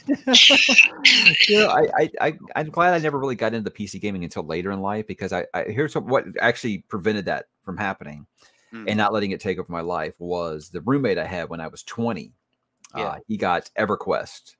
Right. And he got so addicted to it, he quit his job. He no. broke up with his girlfriend, and no. then all of a sudden he couldn't pay his rent anymore. And oh it was like, dude, what in the world is wrong with you? That that was my my lesson of okay, I'm not getting into online gaming because I was I remember really wanted to try World of Warcraft when it first broke out. That happened with World of Warcraft. I was think I was must have been like 17 or 18 when that came out, maybe a bit younger. I can't remember now. And I remember reading all the stories of people like dying playing it like you know first. You know just they got so obsessed with world of warcraft they just didn't drink anything or just, it's just stupid stuff like that. Um but uh, yeah I, I, do like the kind of the big open world stuff. In fact to, to the extent now where i don't really like non-open world games anymore. yeah it's tough for me. Like uh they're trying to sell me on the new final fantasy game and i was like look i ain't liked final fantasy since like fucking nine was probably the last one i really really liked.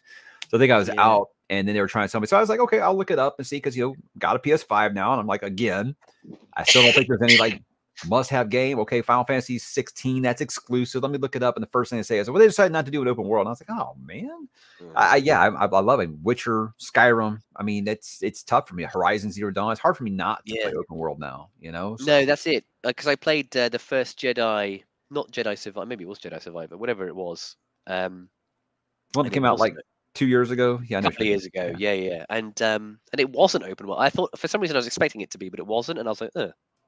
it was quite a cool game, but I only got yeah. I mean, look, the fact that it was a good EA Star Wars game, I was like, look, let's just count our lucky stars at even. Yeah, yeah, yeah, for know? sure. Yeah, I have. no, I was more of like a Total War guy, you know, and um, I love the Total War series on PC. You know, um, your Empire and your Shogun and all that sort of thing. That's a very good point. maybe I've got the genophagia now. It's um, it's karma. Well, uh, hey, can we talk about your monstrous Lord of the Rings takes? And your yeah, do I have Lord any take? Your monstrous Lord of the Ring take was when, and yeah. I had just like had to take a step back and be like, "What is this guy talking about?"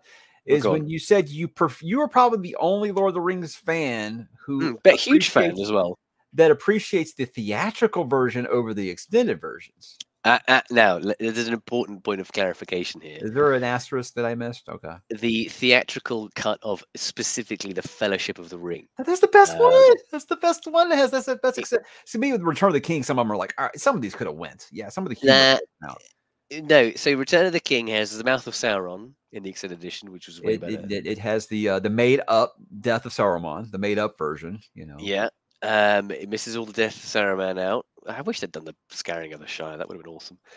Um, but I was I, I, was the hot take that I didn't care about no Tom Bombadil, and I was fine without the scouring of the Shire. I always felt like that fourth act kind of brought Return of the King down a little bit. Sure, fair enough. I mean, it would have been cool to see on screen, but I could definitely see how it was. You know, but what what extended scene in Fellowship of the Ring do you not like?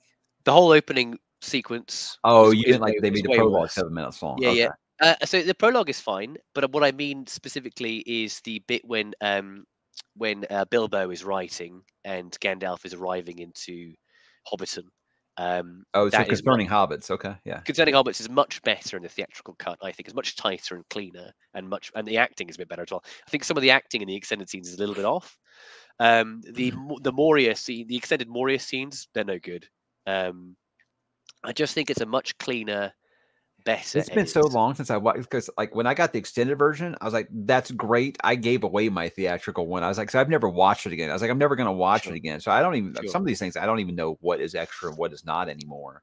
I just like the mithril, the mithril scene? Is that about the only the Moria? yeah, there's a few. But I, to be honest with you, like it's been a. I watched. So I watched. I got the VHS of the Fellowship of the Ring. Ooh, all right. Yeah, so I'm not. You know, uh, no, I think no you're old to have a. VHS. Uh, yeah, no spring chicken. Uh, my the TV I had in my room growing up was one of those like big cubes that had the built-in VHS player. Um, and then obviously the DVDs on my PS2. Um, I got so the VHS of the and then and then so this this is this dates me. So I had the VHS of the Fellowship of the Ring, but I had the DVD of the Two Towers. So we Ooh. really were at that transitory stage. yeah. Um, and I and I played the Fellowship of the Ring so many times that not only could I recite the entire thing from memory, every single word of every single character, um, but also the sound went on the on the tape. Um, you know, I just I, I would get home, I would turn it on. It would be background music, no, and so I can't. You know, as much as I love the Fellowship of the Ring, and it must be one of my favorite movies of all time. I know it so intimately now that I actually like, yeah, I can't really stand to watch it anymore because it doesn't engage my attention in it in any way. Um, because I've just watched it probably literally fifty or Right. sixty times in total. Well, my kids Um, liking it. It's become like a. We do the the extended trilogy over the summer and do it again over Christmas because I think like it's it's kind of like unofficially like a Christmas movie to me, just because each one came movie. out Christmases for three straight yeah, that's years. right. So I just do it like Mm. every Christmas. But yeah, that's one of those those trilogies where like Star Wars or like a Back to the Future, Indiana Jones, where I could put it on mute and not only recite the dialogue but also like whistle the music. You know, so yeah, so yeah, exactly. times. Yeah, yeah. Like when So, Duel of the Fates starts in the Phantom Menace, and you're just like, no, no, no, no." um, it's exquisitely good. But yeah, I think that was pretty controversial. Actually, some people were unhappy, but in like a silly way. Yeah, how but you know what? It's the internet. You can always find people who are going to. My to goodness. that you have a hot take. You can find 20 other people on the internet that will Mm. agree with your hot take, honestly. Yeah, So, yeah, for sure. I, I mean, I said something. I'm watching The Last of Us. It's um, it's one of the only things I'm watching. Well, I'm watching The Last of Us and I'm watching Succession. They're the two TV shows I'm watching at the moment. great, man. Yeah, it's good. They're both brilliant. I really like The Last of well, Us. Succession's great. Oh, you don't, like The Last of Us, do you not? Uh, I love it's it. Not just because of because of the uh, the game. It's just like my, my wife hasn't played the game, and she's like she had like all these problems, and I think that maybe just was just like a huge like eye opening thing to me. How much of this am I liking just because I like these characters already from the game? Oh, You know, I don't haven't like played. they're- I felt like it was rushed. I felt like it was ru- like there's big Did you? events like like Sam and Henry. It was like they're really going to do this in one episode. You know, that was stuff I was like they could have done that over two or three episodes. I don't know. I I didn't know. So I've never played the game. I've Yeah. never played it. I didn't have a PlayStation, um, so I've never played it. And I That's why I um, understand maybe, that people people are like maybe that's why I liked it so much. Yeah. Um, but I guess like you know, with uh, all these things, especially something like The Last of Us, which is like big budget, they've got like big names attached to it. So Pedro Pascal must be commanding a pretty hefty fee these days. There's some CGI in there, which is not cheap. They've got some big sets in there, which they've got to build. Like you know, they're going to go all out on season one. They, they, I think when they make these like prestige TV shows, I just assume they're only going to get one series out of it, and so they're just trying chucking as much as they can. But I actually really liked it. I thought it was great. Um, I love the chemistry between Joel and Ellie. I think she's a brilliant actress. Um, and I love what they did with her with the kind of the joke book. You know, she's got the books full of jokes. yeah, mm. I thought it was a wonderful way of like humanizing her and making her very relatable. Because like I thought her character particularly was very well done. because she's she's grown up she's she's only ever known the post-apocalyptic world. So she's both very naive, but also horribly world weary. And I, and I think I like that because that's kind of like where I kind of kind of where I get to with Helena as well in, in the Empire of the Wolf. You've got these these characters that exist in two conflicting states simultaneously, and I thought they did it. And and the, the book of jokes was a brilliant way of of of making of reminding us that she's basically a child and she finds these silly jokes really funny um and uh, and yet at the same time they exist in this world of unremitting horror um and so i thought i thought it was brilliantly done i really liked the series i'm on episode nine now um, I would never ever say, hey, If you're liking it, you're a bad person. No, absolutely not. That's one of those things where I'm like, look, No. everything on HBO to me is at least watchable. It's at least For sure. watchable. Yeah, yeah. for I, I just knew that one was something I was going to nitpick because I felt like the you know the game was the storyline was just like so People perfect. love that game. Yeah, People go yeah. Bananas for the game. I mean, it's supposed to be one of the best games of all time. I feel like it? this is tongue in cheek from Ryan. I'm not sure. I've only read book one so far. He says I never kill characters. I'm with Richard on that one, so I'm thinking he's he's being a little sarcastic. I mean, knowing Ryan, he probably is being a bit of a dick. to his characters, uh, to, to his to his, to his character, not to his, not to his mates. Um, but yeah, I've been trying to get some people I- know to watch Succession because they're just like, isn't it like like business really? And then they, they would try like to watch like the first couple, and they're like, I just didn't like any characters, and I'm like, you mean like every fucking grim dark fantasy book you read where it's got these like shitty people and you love it? Yeah, So, I I didn't realize. Succession was written by a British guy called Jesse Armstrong, um, who wrote a TV series here uh, called Peep Show, um, which they keep trying to remake in the states, and it just doesn't translate well at all. Uh, like a lot of British um, comedy, doesn't translate well. I think The Office is the only one that worked. all. and, it, and, it- and he worked. Because, so it's interesting because The Office is the quintessential example because um, season one of The Office, the one that no one likes, in the US, Yeah, they tried to make it like the British version. Yeah, is because it's the only one that's actually like the British version, and uh, it is excruciatingly awkward. Um, and none of the characters are super likable, and that's very much like the British Office. And so when they made it, and I like both of them, but for very different reasons. Um, but they keep trying to make Peep Show is a brilliant comedy. It's basically like um, you, it's these two guys who live together in an apartment. They're both in their their twenties, and the they ha- the camera is on their foreheads like a GoPro, and you can hear their thoughts like in the voiceover. Um, and it's this it's very kind of I don't think it would j- jibe very well with American audiences, but like for if it's a very very witty, very well done comedy. Um, and the writer of Peep Show is the guy who wrote Succession, um, which I did not know. Um, so that was a really interesting little tidbit for me. Um, but I'm on season three of that, and it's uh, it's very very good. Uh, basically the writer's strike. I was like, "Well, at least they've done filming Succession. You know, that was that was the first Yeah. thing I thought because that's like my favorite show right now. I, I fear what it's going to do to House of the Dragon. Uh, I know they've said, hey, they've already got season two written.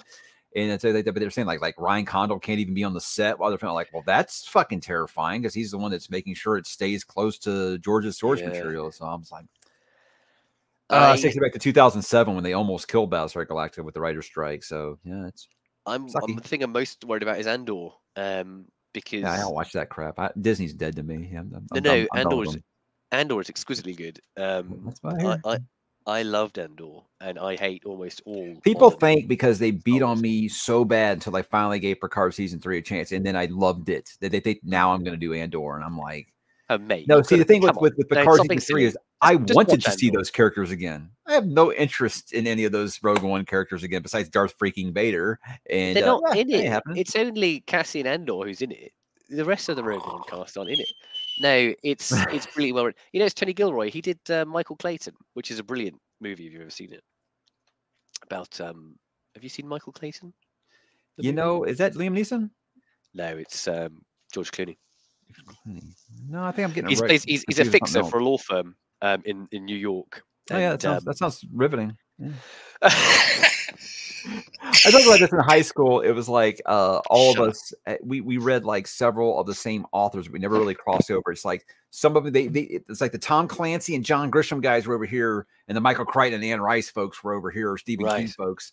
And it was like Yeah, we yeah. never really crossed over. Never so the all the Wall meet. stuff, Grisham stuff was me. I was like, that doesn't sound interesting to me at all. But the guy sells a bazillion books, so he must be at least good. I've read a few. Have I read Grisham? My wife reads loads of John Grisham, um, and she keeps saying, "You're a lawyer. You should. You would love John Grisham." And I was like, "I don't know. I don't, I get enough of this at work. Like, I don't want to read it at home as well." um, but uh, you know, I've read a bit of it. It's you know, it's it's good. It's it's very readable. Um, it's it's very interesting. Michael Clayton's a great movie, but Tony, it's it's done. It's the Star Wars that I always wanted, which was like a kind of gritty, realistic Star Wars. So what, a- Star what a lot of people told me is like it's the best Star Wars show that feels nothing like Star Wars. I'm like, Yeah, it's not got like aliens in it. There's like one droid. Um, the dialogue could have been taken from like a Cold War thriller, like a kind of John le Carre novel, um, which is why I love it. You know, it's it's if I was to write a Star Wars show, that's basically what I'd have written. well, I'm glad people Um, like it. To me, what I've just said is like Disney's just insulted me for the last time. I just I just can't anymore. You know, I'm just, I'm just tired of you. It's like they're just taking this thing I loved in my childhood and just like just hey, watch this and just just punching it in the face right in front of me. And I was like, there's a point where I just like I just Yeah. can't do it anymore. But Andor, you know, that should be your exception. Obi Wan was the last straw for me. I Obi-Wan was flipped. I flipped tables during that. I was like, okay, so you're gonna steal. God, I, I can't even remember what I is it. Fallen Order, Jedi Fallen Order. Is that what it's called? The EA mm, game. Yeah, it, it was. I was yeah, like, so they're going to take the storyline from that, do it worse, and basically, I I don't know, just do exactly what they did in the Last Jedi. But yeah, now they're going to do it to Obi Wan Kenobi. I was like, how do you make a lightsaber fight between Darth Vader and Obi Wan seemed boring? And I was like, oh like, my god, it was so staid. I mean, I could, I could. That's a, this. I could talk about how much I hated Obi Wan for about an hour. So that was it for me. After episode three, we just like noped out. I was like, I can't do it. We were going to watching Mandalorian with my kid, and I think it was episode three of this most recent season. They looked like I was holding them hostage, and I was like, guys, we don't have to watch it. if You don't want. They bolted upstairs, and they never asked to watch it again. So Watching like, something "Alright, shouldn't be in a, in a test of endurance, you know. I Um, guess. yeah, no, no. Andor was great though. You should watch it. Um, you're wrong for not watching it. I- I- objectively incorrect for not watching it. I never swallow your- never, but I have. I have Swallow no- your pride. Get it ha- on. I have no plan. That's what I do, Ryan. I am here to. I didn't tell Richard this was going to be a roast. You know, apparently this is what this is going to Yeah, be. No, it no, takes a lot to, to roast old Richard. I know Richard can take it. He's very headstrong. I've seen I've seen his tweets. He, he knows how to handle it. Yeah, I come come and stuck with those a few times. Yeah. but, So uh, I- hey hey uh so what do I got to do to make sure I actually get on the arc list for book number three this time? You know, So it's a really interesting story because I I sent them a list of people, I've heard this a lot. Net Yeah. Galley's a mess right now. I'm sorry. They but I are. sent it to Orbit. You know, I said, "But can you make sure these five people get copies?" And you know, they obviously didn't. Um, I don't know what happened there, but they did. But send you a I always say I don't ever feel like I'm entitled to these things. Like ever. Someone wants to send to it, it's great. I think it's I, I love thank you so much Mm. for doing it. Mm. Yeah, yeah, for sure. But it, it- it's when like, huh, this person's got 20 YouTube subscribers. Why are they getting the book and I can't? yeah, well, that's it. I You know, sometimes I see. subscriber count matters in that regard, but it's just like well, kind of confused. I sometimes I'll see someone, you know, on, on Goodreads or whatever, and they'll have had like, you know, done three reviews or whatever. They don't even have like a profile picture, and I was like, "How have you got one?" like, like, is there just some button that someone's like, "Yes, randomly allocate"? Well, that's what we said uh, with the, the Pierce Brown ones, uh, the, the, the, the new Red Rising book, because it's like, Mhm. I think they're just completely just like throwing darts or doing like a number generator or yeah. something and saying that's how we're going to approve people because it It's makes no bizarre. sense like at all. I don't understand it. I mean, I know that you got one in the end, which was the important thing. Yeah. they sent you a nice hardback, didn't they? yeah, they sent me a hardcover. Thank you. Yeah, that was Oh, there great. you go. Uh, And, I mean, I did don't have I don't have Justice of Kings on hardcover. I have it on digital. So now I've got to go and buy Justice of Kings on hardcover. You, yeah, I'm afraid you do. Yeah, yeah, that's see, right. that's, that's that's what kind of book collector I am. so yeah, that's it. That's it. But just don't. I wouldn't roll the dice on the Goldsboro edition. Um, that's the. Oh, still annoyed about that. You know, it sucks because uh, it seems like the UK has all of these great places like Broken Binding and, and Yeah, Folio right. Society, places like that, and the shipping to the states is absolutely insane. It's more than the Really? books. Like the uh, the the Song of Ice and Fire Folio Society edition, two hundred fifty dollars. You think, okay, I can finally pony up for one of those. Hundred fifty dollars to ship it. I'm like, four hundred dollars for this book? No, I'm that's I'm, I'm good. nuts. 150 dollars for shipping is crazy. Yeah, well, they're heavy. They're super heavy books. Oh, I suppose they are. because they're Even two so, though. thick hardcovers. You know. Yeah, maybe that's it. Um, I don't know why the states doesn't seem to just have the the um the the, the crate books in the same way that they do I, in the I feel like in the states, uh, I mean, maybe it's just because I'm so close to it. I feel like this way. Uh, less and less people read now in the states.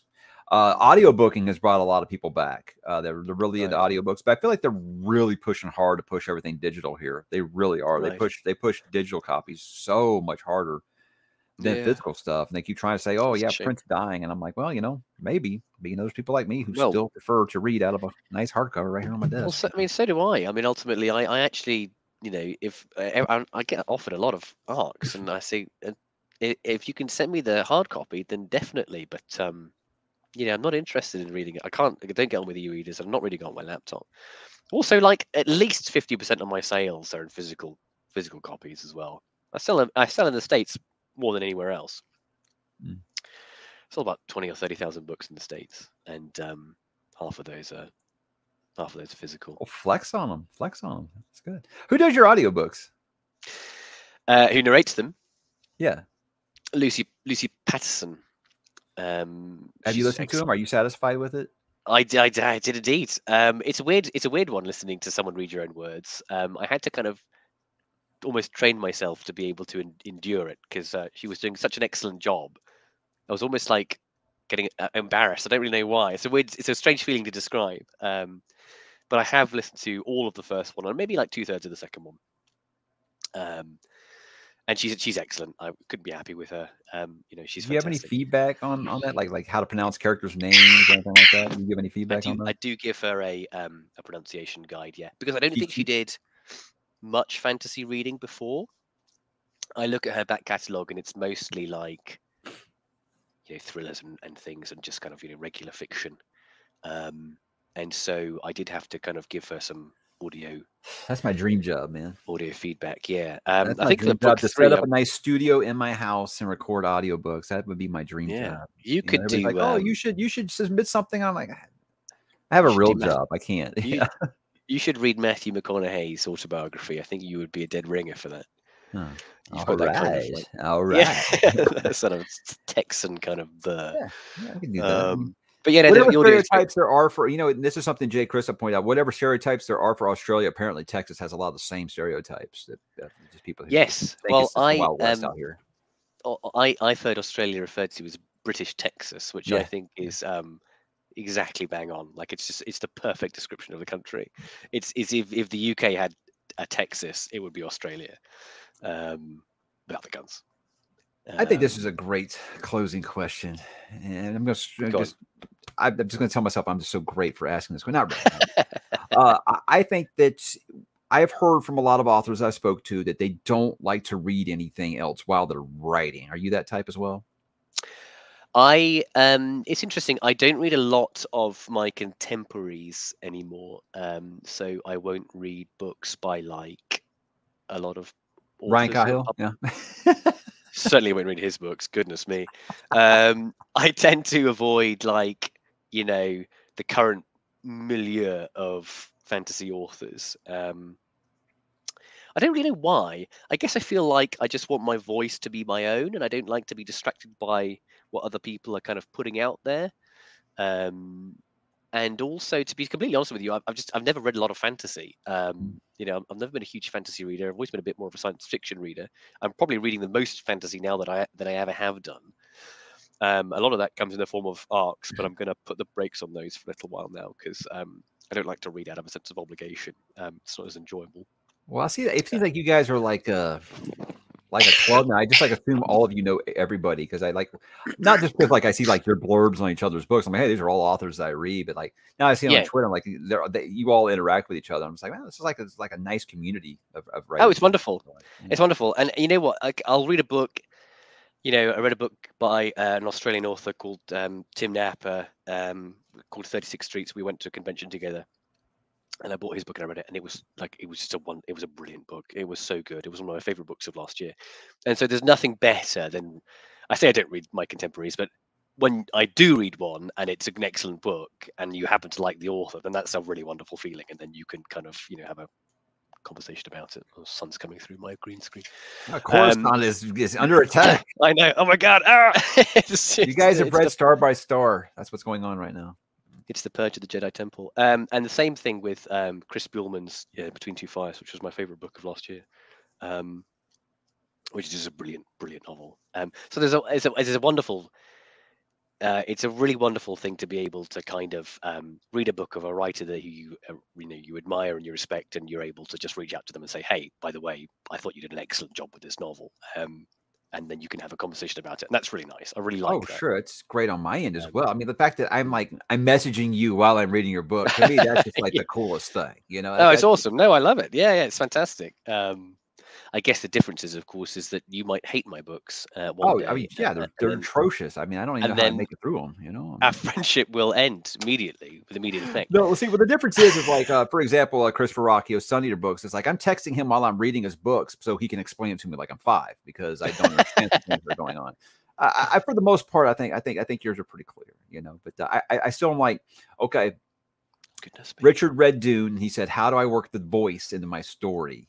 And I am here. You know, do you know what's interesting is that that actually wasn't the inspiration for the voice. Like it Really? genuinely wasn't. No, it wasn't. And and it's weird because I do love Dune. Dune.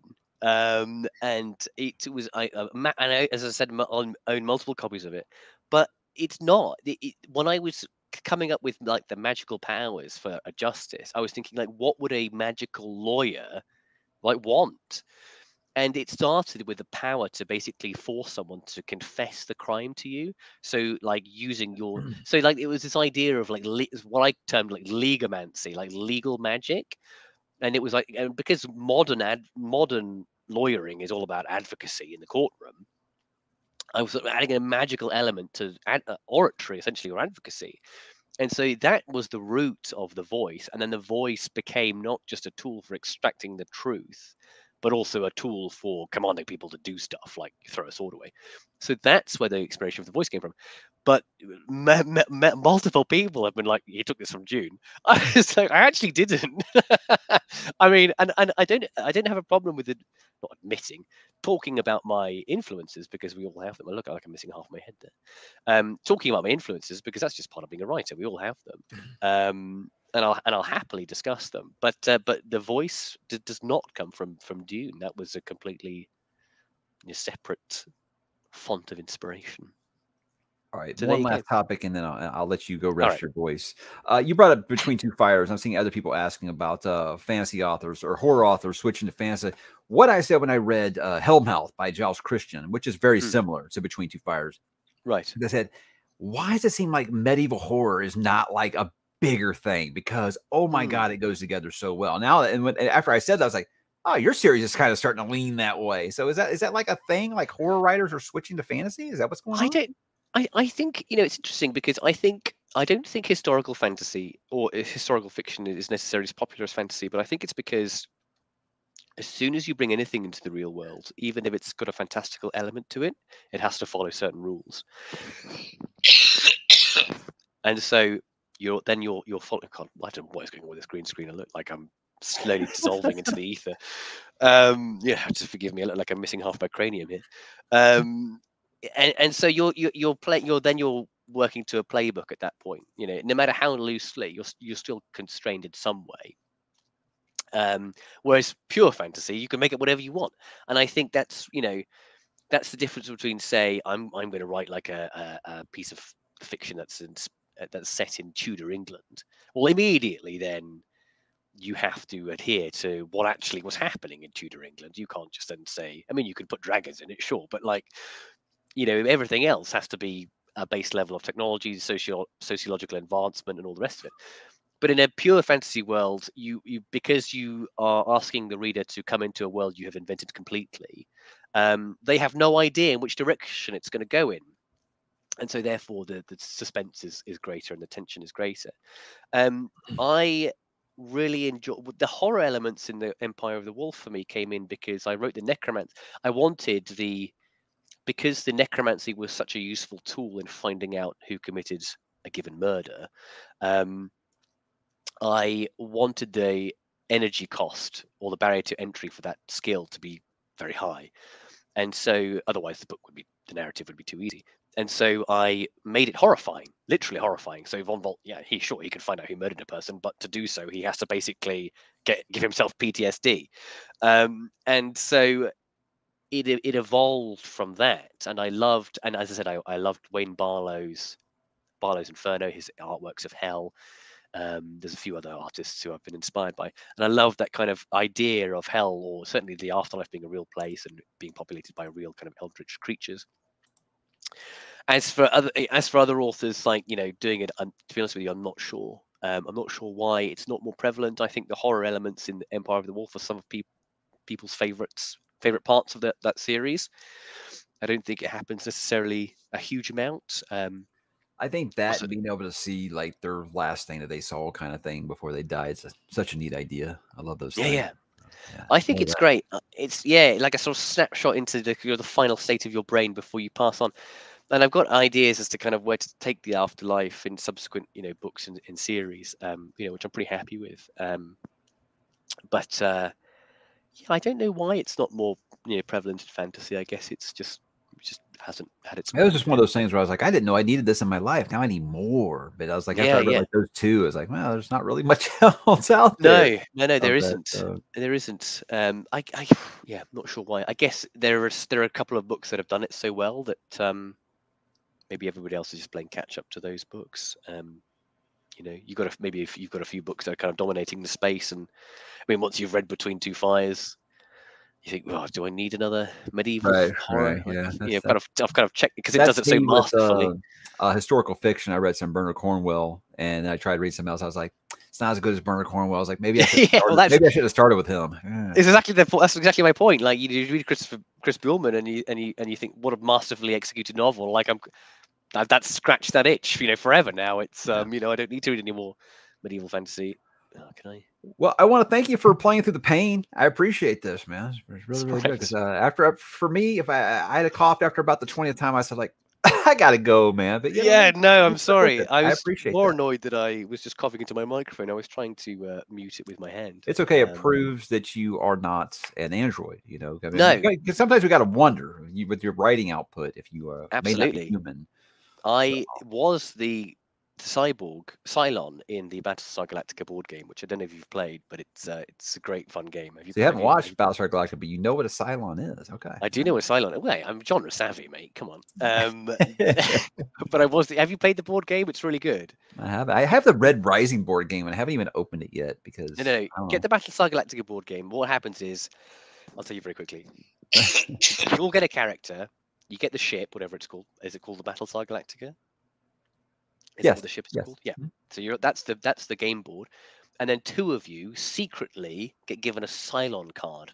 So as I understand it, they're some, they're mimics of some kind. Well, you, you, the whole thing about the series is like who's a Cylon, who's not, because they Right, look like yeah, yeah. humans. Yeah. mhm. So that's the that's the conceit of the board game as well. So two of you are Cylon, and what happens is you all have to make decisions, and you vote on a decision, and you've all voted them anonymously and simultaneously, and then, but if you're the Cylon, you're actively working against everyone.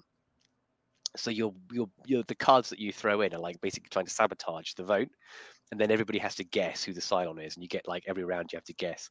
And I was just like, it was a really good fun game. I was Well, see, I've been with my wife since 2007, and she, no matter what board game we play, she absolutely destroys me on it. So I just stopped playing Yeah. them. yeah, fair enough. It's just like not fair anymore, you know. To the point where I just like accuse her of cheating because there's no way. You would think like statistically, I would dumb luck my way into winning one, you know. But I. Statistically, I would think that you're right. All right. Well, thanks so much, man. I can't wait for uh, book Thanks, three, Mike. no matter what it's called. I can't wait to hear what it's called. I can't wait to see that cover art. And uh, uh it's gonna be a good time. Thanks me. time Yeah, thanks for having me on the show. Thanks for your support and for your reviews. Appreciate that. Of course, of course. Happy a to shift in a few hun- hundred copies just by yourself, I, would say. Well, that- that's great. That's awesome. I love to hear that. Word of So, uh, Mike. yeah, yeah, good man. Well, yeah, I gotta give thanks to Alan. Alan's the one who put it on my radar first. So, and then I, No, Alan's here's great. the thing. Alan's like, "Hey, you gotta check out this book called Justice." League." Oh, okay, I have to listen. I saw the cover art, and I was like, "Oh shit, yeah, I gotta read that." Martinez done Yeah. a wonderful job. I did my first interview was with Alan. It was a really wonderful uh, experience. Alan's something, He's a great guy. Yeah, Yeah, he's a- yeah, he's a good guy. he's a character. Let's put it that way. All right, guys, thanks for hanging and uh buy his books.